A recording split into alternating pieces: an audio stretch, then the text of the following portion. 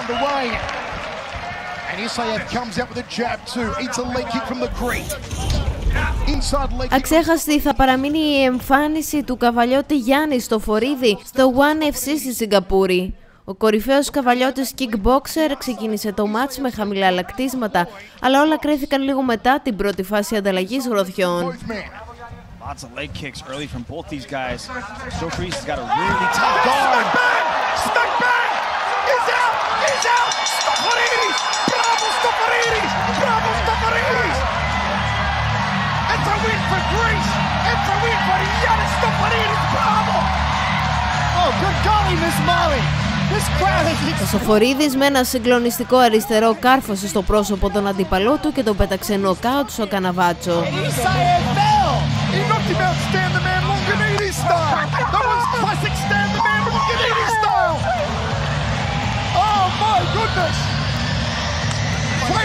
Play the bazooki music! The Greeks are going to be partying tonight!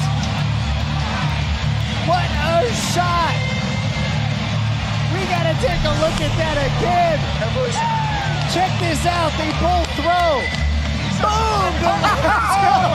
Η νίκη πανηγυρίστηκε έντονα από τον Στοφορίδη και τον προπονητή του Παναγιώτη Καρανικολή, με τους δυο τους να αγκαλιάζονται αμέσως μετά την επικράτηση.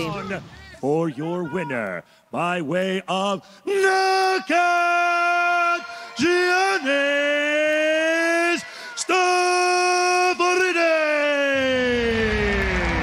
Stavridis. Receives a standing ovation in Singapore. As well he should. A phenomenal cracking knockout in a matter of seconds. Oh, Mitch, we're going to see it again here.